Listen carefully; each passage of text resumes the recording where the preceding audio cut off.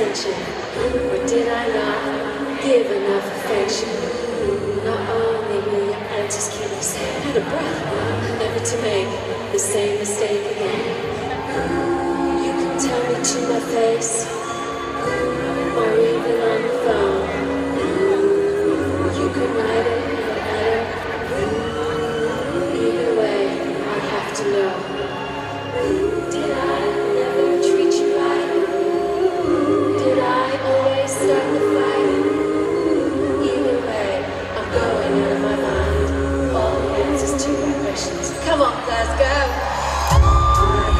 Thank you.